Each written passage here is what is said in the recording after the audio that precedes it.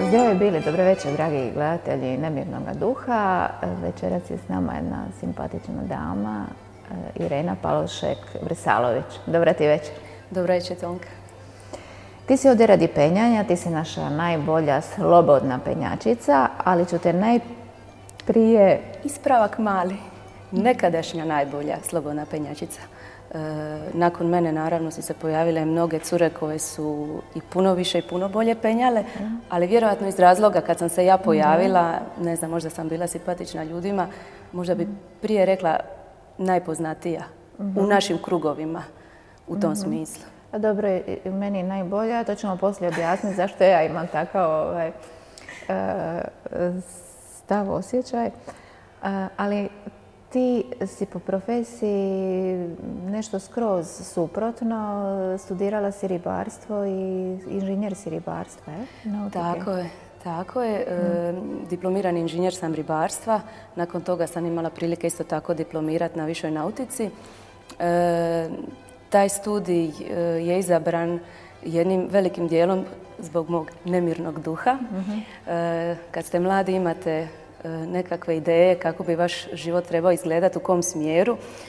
Ja sam uvijek nekako nastojala živjeti što više ekološki, pa sam tako, ne znam iz kog razloga, valjda u to vrijeme s 18 godina mislila da će mi taj studij pomoći jednog dana spašava dupine, kitove. Gledala si veliko plavetnilo, pretpostavljam. Tako je, tako je.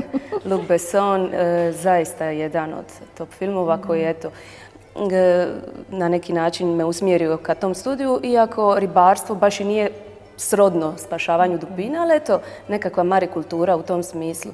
To je vjerojatno ono što se događa i onima koji žele studirati veterinu, pa misle da će imati samo sa macama i pasićima posla, onda kad vide prajca i ovaj i kravu, onda se ovlade naglo. prilike tako. Sjećam se, na trećoj godini smo bili ovaj, u tvornici za preradu ribe u postirama i ja sam bila šokirana. Pa nije valjda to, to gdje sam ja trebala jednog dana završiti da bi život jednog dana ipak e, pokazao jednu realnost na način da sam već u četvrtoj godini pokušavala na sve načine se zaposliti u toj tvornici. Međutim, nažalost, taj studij, kao i mnogi studiji u našoj državi, mogla bi reći da nisu našli svoje mjesto u gospodarstvu, tako da sam ja jako brzo nakon toga shvatila da ja tu se bojim, se neću tek tako brzo zaposliti. I onda me duh odveo u Bosnu. U Bosni sam radila četiri godine u humanitarnoj organizaciji to je bilo isto tako nevjerojatno jedno iskustvo, ono doslovce grlom u jagode. Znači, mhm. imala sam jednu informaciju da se mogu drvaru zaposliti e, kao prevoditelj i ovaj, ništa, ja sam ono bez problema sjela autobus, otišla tamo i tako je krenula nekakva moja priča. U drvar, koje godine? To je bilo 90 osme. Dakle, ja sam, e, tako je, 98. Tu su se svakakva zbivanja tada događala u migracijama, povratima. Zato što je dosta depresivno. Da, vrlo. Drvar izgleda vrlo depresivno. Vrlo nisam se četiri sve godine zadržala u drvaru. Tu sam krenila kao prevoditelj, međutim poslije sam se jednoj nakon jedno tri mjeseca zaposlila u jednoj humanitarnoj organizaciji u Zenici. Moj otac je porijeklom iz Bosne, tako da je meni Bosna jako u srcu. Jako mi je to jedna draga, topla, prekrasna zemlja sa prekrasnim ljudima, moram priznat, jako otvorenima. Takva šteta što se to sve izdogađalo, kako njima, tako i svima. počela si penja sa 19 godina, tako? Da, relativno kasno. Kasno. Kad je to palo prvi put na pamet? Ma ja sam uvijek nekako tu eh, s tim sportovima, nekakvim eh, kako bi to nazvala? Koketirala. Koketirala, tako je, hvala. Koketirala. E, od samog djetinstva sam uvijek mamu nagovarala, to je doduše moja najveća ljubav, gimnastika. Međutim, relativno kasno me s osam godina upisala, tako da tu nisam se našla jednostavno. E, međutim, ja sam, e, volim ples, završila sam u jedinstva, tu sam plesala šest mm. godina, tu sam počela putovat i prijatelj me je doveo s kojim sam plesala na Marjan. Mm, rekao mi, slušaj, ima da novi sport, moraš to probati, ajde dođi na Marjan. Došla sam na Marjan, isto kao ti. Uhvatila sam stijenu i jednostavno to je bilo to. Zašto? Kako? Zašto baš penjanje? Ne, ne bih mogla. Valjda smo svi za nešto. Ja sam, ne znam, evo 20 godina penjem, mislim da je to to. Iako to nije jedini sport kojim sam se bavila, ali je najstalniji u mom životu. Da usporedimo naše te marijanske stine, gdje vi imate i te škole i tako, ovaj, koliko se to može usporediti sa drugim zemljama, kolike su različitosti, kolike su, e, e, koliko toga ima sličnoga, što te podsjeća na ovu našu konfiguraciju terena, koliko je lakše, koliko, što, kako bi ti to usporedila? Pa mi ovdje imamo vapnenac koji je jako razvedena stijena i samom tom svojom razvedenošću imamo smjerove raznih težina. Naša stijena je, rekli bismo, hrapava, e, nije istrošena. Mi kao Hrvatska još uvijek nismo poznati u svijetu, iako kad se okrenemo oko sebe, jako puno tog ima krša. E, e, što se tiče sportskog penjanja, mislim da naše područje nije još uvijek iskorišteno u tom smislu. Međutim, imate vani Kad kažeš hrapava, ona je za penjanje bolja nego one liše, tako je? Tako, recimo u Americi je granit, to su čiste plohe, to je jako teško e, penjati, tu se čak i tehnički penje. Recimo imala sam prilike u Australiji penjati, kod njih je sve nekako pjeskovito, imate osjećaj kad se penje da će čovjek... Da to padne na pamet? E, ne, ja naime penjem e, u, na sportsko, uređenim sportsko-penjačkim e, penjalištima. Mhm. Znači da su smjerovi već unaprijed određeni i mi to volimo reći, znamo reći, zaspitani. Znači svaka dva metra se nalazi to osiguranje koje isključivo služi za osiguranje penjača prilikom njegovog napredovanja. Znači to, tu se mi ne hvatamo, tu se mi ne čupamo, nego je to isključivo kako bi nama omogućilo, znači dalo sigurnost. Iako ima i drugi segment penjanja, znači onaj alpinizam, kada vi netaknutu stijenu vidite pa se uputite u nju pa onda stavljate sami prvi put, to je nešto opet posebno. Međutim, za tako nešto jako puno iskustva treba imati jako puno pameti, znat šta čovjek tu radi. imala sam prilike penjat sa našim Edom Reteljom, koji je to, nažalost, više nije s nama. Imala sam prilike u Bosni penjat koji me je najviše u tome svemu naučio jedan poznati bosanski penjač Mukrim Šišić u vrijeme baš kad sam e, radila u Bosni. Onda smo penjali zajedno u, e, na Prenju. A Prenju, lijepi Prenju. Ja, zaista, to, je, to su jedne od stvari u životu koje vam se ukažu i onda vi imate trenutak da to prihvatite ili ne prihvatite. U većini slučajeva se čovjek pripadne toga, ali onda se sjetim svih onih nekakvih floskula, kako bi to nazvala, koje pišem u teci dok smo mladi, da li se bojiš živjeti, umrijeti ili živjeti, are you afraid of to die or to live i tako tih nekakvih stvari, onda čovjek u datom momentu zaista treba se odlučiti da li će se okušati u nečem novom ili će se ono povući u svoj nekakav siguran kutak. Ali ovo što sam ti malo prije pitala, kad usporediš, na primjer, u Italiji gdje je to, gdje su ta mista za penjanje dosta masovna. Jako su masovna. to su stine koje su već izlišane od tih e, pustih penjanja i tako. Koliko je tebi ko penjačici to prihvatljivo? Ili više voliš nekako izolirano, ići na izolirana mista? Pa svak više manje voli ići na, na nekakva e, e, netaknuta penjališta u smislu komercijalizacije. E, pa Međutim, ovaj, zaista toliko još stijena ima u svijetu koje čekaju da budu popete. Tako, recimo to u Arku, konkretno u Italiji, kad smo bili mhm. prošle godine, situacija tamo je već takva, pošto je mjesto E, taj konkretno Arko iz kojeg je e, krenilo samo slobodno sportsko penjanje, mhm. ne znam, tamo 1985. 6. godine, gdje su se prva penjališta počela, ovaj, e, od ne penjališta, nego natjecanja organizirati. Konkretno kod Arka se dogodilo da je to jedno malo mjesto, okruženo jako puno stijenama.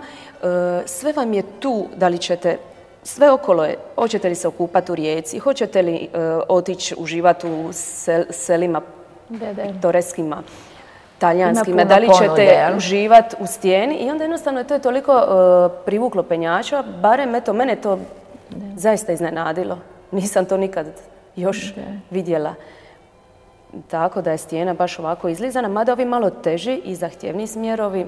To po logici stvari Tako nije toliko. Ali ipak je Arko, to je ono komercijalna stvar, zaista. Ja sam isto otišla velikim dijelom da vidim taj poznati Arko, dakle sve više manje krenilo. E, Di ti je najdraže vanka naše zemlje bilo otići penjat, onako da je sve skupa bilo interesantno, ti da si nešto naučila novoga? Tajland. Tajland. Tajland. Tajland sam slučajno završila. Znači, e, prilikom e, odlazaka na razno razna natjecanja vani, razno razne ljude sam poznavala, s nekim više, s nekim manje sam ostala u prijateljskim, odnosno nekim dužom kontaktu. Jedan od njih je jedan od najpoznatijih e, svjetskih postavljivača smjerova na natjecanjima. Reinhold Scherer mi je poslao kartolinu iz Tajlanda, to je bilo prije nekih 15 godina iz Krabija.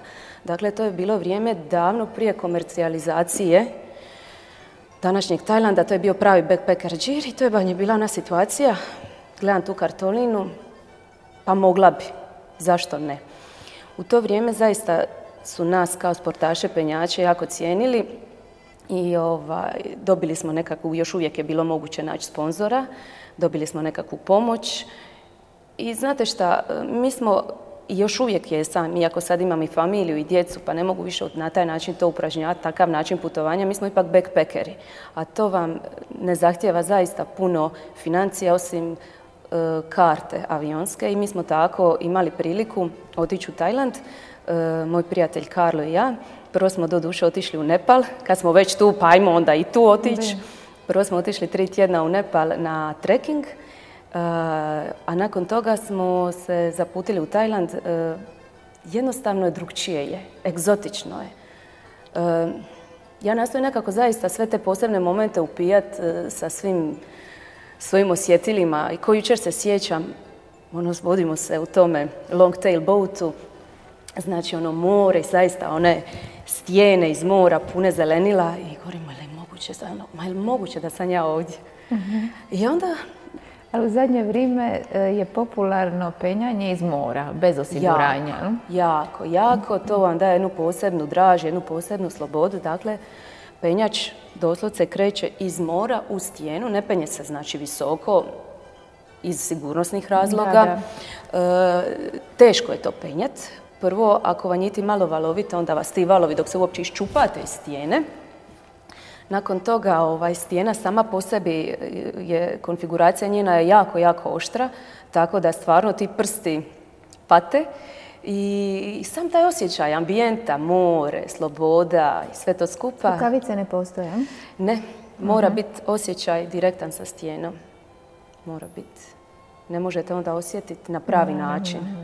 Niti e, u takvim teškim situacijama gdje se vi stvarno držite za male oprimke, morate stvarno, nema tu ništa, ne smije kliziti. Jako puno i jako popularno je to penjanje iz mora, to je takozvani DVS ili Deep Water Solo Climbing. E, mi ovdje smo e, postali isto nekakva e, meta penjačima u tom smislu, recimo u okolici Splita, znači prvo na Sustipanu, jako puno ljudi penje, što naših, što stranaca preko ljeta, onda južna strana Čiova, pa Hvar, pa u stvari bilo koja vertikala koja ide iz mora s južne strane pogodna je za tako nešto. se prije par godina je bio jedan od najpoznatijih svjetskih penjača iz Amerike. On je došao u Kornate penjat, penjat na Kornatima, napravio čitavu emisiju, međutim, ja mislim da šira, šira javnosti nije imala puno pojma što se tu događa. Naime, penjanje je poput mnogih sportova marginaliziran. Da, nema krvi, nema te dramatike toliko da bi to privuklo sponzore, a di nema novaca, onda je to malo teško A i veliki sportovi nemaju muku muče, tako da... di smo mi? E. Ali ti ne penješ samo stine, nego se penješ i na ravne plohe, jel, na zgrade, možeš i to, to isto nije problem. I to, kod kome triba. Interesantno je, znači... E, Nešto me zanima, je li ima lupeška, jel ti ko da lupešku, ono kad kreneš tek? Zašto ne, ako tri, ako može. Onda nisi da nisi frajer, onda nije baza. A šta ono, pol metra prva nešti, ne, treba odoli. jel, tebi, jel tebi onaj dan ko da lupeško? Ne. Eto vidiš, jel ti palo na pamet? Pa nije, ali mi je sve palo ali ti je negdje u postine palo na pamet. E, puno ljudi, znači, e, ja mogu reći da sam jedan od splitskih dinosaura po pitanju penjanja. Jako nas je malo iz tog vremena od prije 20 godina ostalo još uvijek aktivnima, a oni koji jesu ostali, moram priznati da su se čak i usmjerili u raznim smjerovima kroz penjanje, šta kroz visinske radove, šta kroz nekakav pustolovni turizam. Tako da ovaj, ljudi su se snašli, iskoristili su to svoje znanje.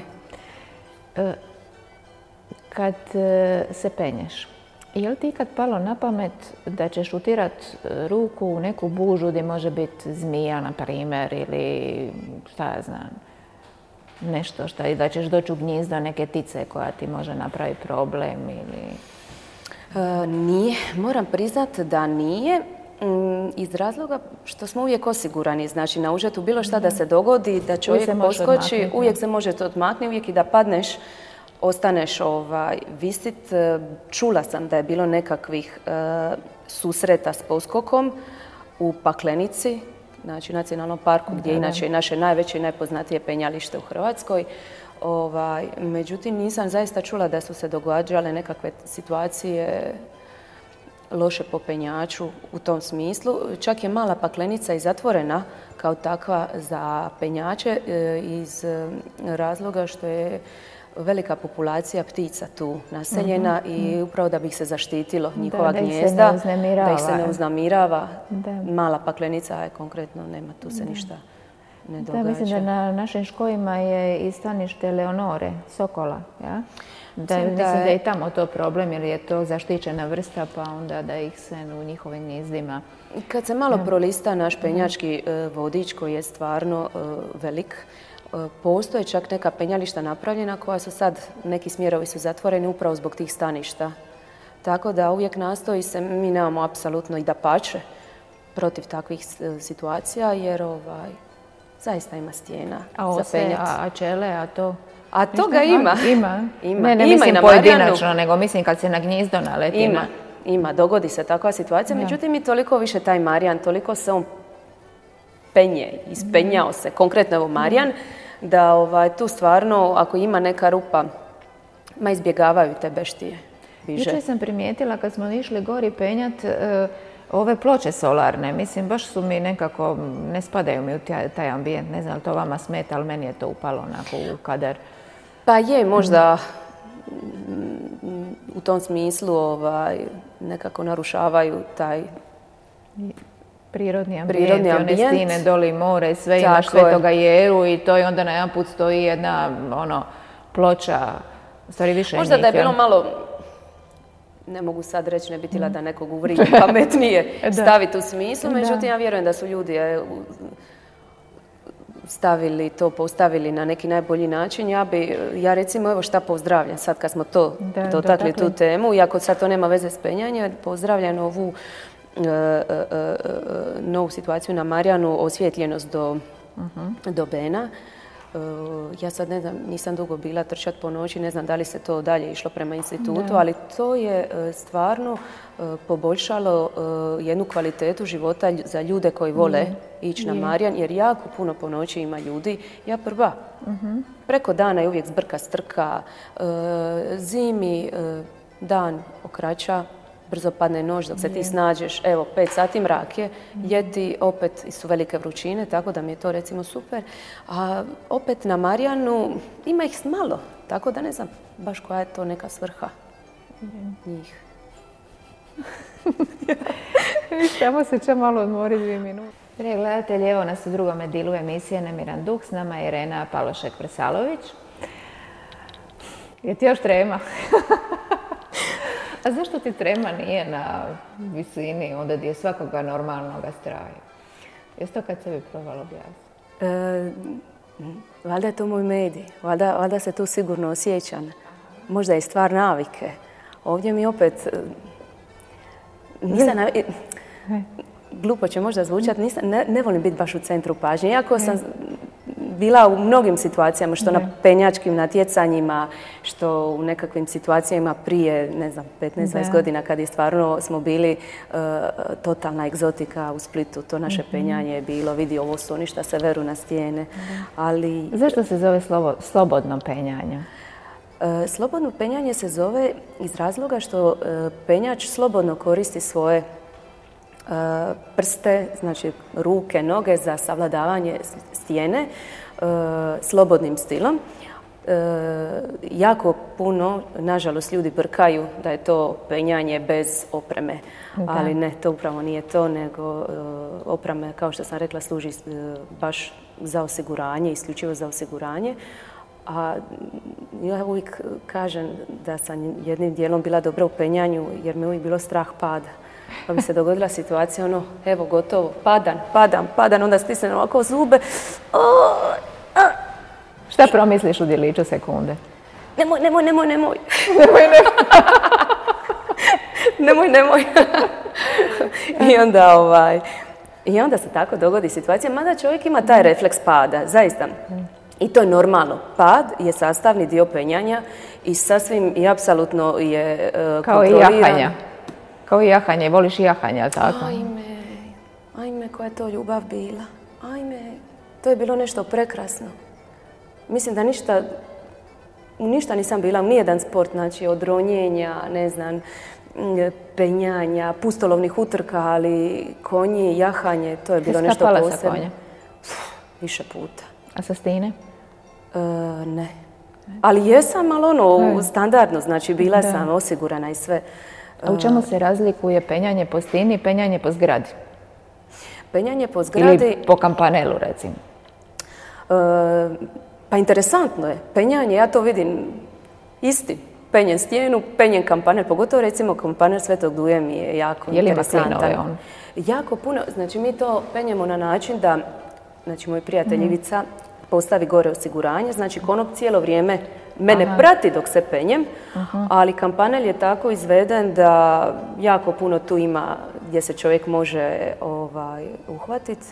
Jako je čvrst i nema tu uopće govora da bi se išta moglo tu dogoditi. Mhm. Jedino čovjek je, mora paziti, oštri su rubovi. Znači da se nešto dogodi, da te zaljulja livo desno da padneš, možeš se ogrebati. Mhm. Tako da, ovaj, to je posebna jedna čast. voliš penjati u prirodi nego naravno, mm. naravno. To je čisto jedna ideja mog prijatelja Ivice uh, u čast, znači još u vrijeme rata je on krenuo s tim projektom, onda je pozvao mene. Sad opet ponovno sam penje. Malo nam se putevi mhm. spoje pa se raziđu. U svakom slučaju ovaj, to je već jedan tradicionalan naš ovaj, uh, doprinos slavlju svetog tako grada, a mislim da je jako popularizirao penjanje, jer je jako velika, svaki put je bila, barem do sada, ovaj, e, popraćenost medijska. Mhm. Tako tog uspona. Jesi još po nekoj zgradi se penjala? Jesmo. Poslije to smo ponovili u sklopu e, festivala ekstremnih sportova Vanka Regule koji se već tradicionalno u mhm. Sutivanu održava. Tako da smo jedne godine penjali na baš u Sutivanu na toj crkvi, a onda smo u dva, dva ljeta smo isto tako penjali na e, kampanelu uh, Rendićevom u Ložišćima, s tim da je tu velik naglasak bio na e, očuvanje takvog jednog spomenika krasnog i svaki put prilikom spuštanja bi čupali one kapare, stani nemo još pričeka i onda bi nastali bar eto nekakav ukazat mhm. tako je na tako jednu prekrasnu građevinu koja nam stoji u srcu. Rekla si mi da suvenire baš ne voliš kupovati, nosi doma, odnosno da si se štufala od toga da je bilo puno tih stvari, ali štufala sam da ti se čini da bez fotografije kada negdje nisi ni bila, jel fotografija ti znači puno? Jako puno. Jel je nosiš kad penješ e, aparat sa sobom ili? E, evo sad sam otkrila ovaj iPhone. Pa e? mi jako puno ovaj, ta fotografija je sad, kako bi nazvala, dostupna. ovaj, ali inače prije nisam tijekom penjanja ne mogu se sititi baš da smo nešto tu. Pogotovo kad penjete recimo velike stijene tipa popnete nešto na Biokovu. Na Biokovu imate, ne znam, stijene 200 mitara visoke koje su, znači, zaspitane. Znači, ono, kao da ste sad, ne znam, deset smjerova na Marijanu koji su ovako, postavili ih jedna, jedan iznad drugog i onda to traje satima. Onda stvarno čovjeku više i nije do slikavanja, e, mada i na putovanjima, e, pogotovo ovim egzotičnim, jednostavno imam osjećaj da, da ću izgubiti taj trenutak ako ga baš ne ovjekovječim. Tako da stvarno imam dosta tako fotografija i onda se ovaj, naravno sa nekakvom nostalgijom prisjećam gdje sam sve bila. Kako bi bilo lijepo opet tako otići, ali sad stara baba od 90 godina. Jesam, grozna sam. Ne bi da, e. A moj rođak, recimo, on je pomorac. Ma cijeli je svi to biš. Nema slike. I on meni kaže, sve mi je tu. Je. Tako može, da i to... Može, može. Tako da je to ono stvarno veličina svoje, svoje vrste. Ali, zamisli, ali zamisli, molite, e, Kambođa, Angor Wat, vrati se bez jedne slike. To bi isto bilo ono strašno. Ne zato što bi ja htjela podijeliti drugima, mada bih htjela podijeliti. Jer recimo, to je jedan podsjetnik, naravno. Tako je. Često puta kad recimo dijelim slike na Facebooku, nisu da se pohvalim, mi smo bili, mm vidjeli ovo ono, koliko možda da druge ljude inspiriraš da to putovanje zaista nije problem. Da zaista čovjek kad želi, e, može Ne samo to, nego ti kad Ne mora on otići u Tajland. Mhm. Ne, ali ti obično ti staviš tu fotografiju, onda vidiš da je neko drugi primijetio nešto što ti uopće nisi. E, i, naučiš, I naučiš od toga. E, tvoj put u Ameriku? Put u Ameriku je bio vezan za jedno natjecanje, znači to je bilo negdje početkom 90-ih. E, mogu ponosno reći na prvo natjecanje ekstremnih sportova koje je danas postalo ogromna stvar. To je u Americi bilo ESPN Extreme mhm. Games Rhode Island. E, tu sam bila pozvana, e, ne ja osobno, netko, nego predstavnik iz Hrvatske koja je tad bila u ratu, da penje među najvećim zvijezdama dole u tome svemu i ova, ja ovakva kakva jesam sva, iako to ne izgleda sad možda sramežljiva, izgubljena, nikad dalje od Trsta se nisam makla, preko oceanski let sama u Boston. Pa jedan let, pa preljet, pa ono presjedanje. Meni je to toliko bilo nešto fenomenalno i nevjerojatno da bi ja onda sletila u onaj Boston, gledam sve one zgrade, majko, mila, di sam ja ovo završila, ili moguće opet ono, ili moguće da sam ja ovdje i nema nikog. Niko Niko me neće. Ne. I još izgubljena prtljaga. I onda sam odradila red suza, red ono, ajme meni šta ću, šta ću sad. I onda kad me prošla ta panika, onda sam se pribrala. Inače, to mi je u stijeni kad mi se dogodi ista stvar. Panika, a, šta ću, šta ću. Ako je neka neočekivana situacija, onda izađe to iz mene, smiri se, onda se totalno ohladim i ok, sad ćemo ovo, ovo, ovo. I tako je bilo i s tim Bostonom, znači zaista jedno nevjerojatno iskustvo biti među svim tim u to vrijeme penjačkim zvijezdama, puno toga. Ma inače čovjek zaista e, puno toga nauči na putovanjima, to je ta e, veličina putovanja što ti e, kad se vratiš jednostavno na sve skupa gledaš drugčijim očima.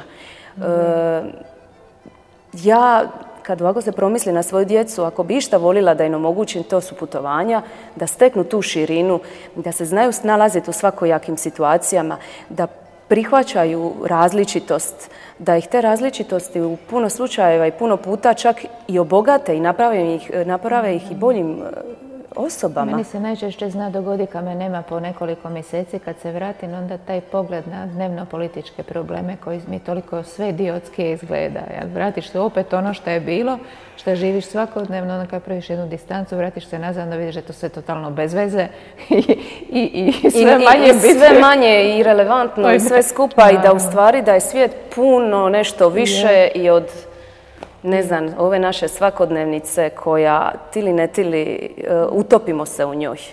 Utopimo se i ne volila bi da kad bi ljudi mogli, duga me nekad uvati kad odem na Mosor, kad odete na Kozjak, pa vidite da tu nema nikoga. Nema nikoga.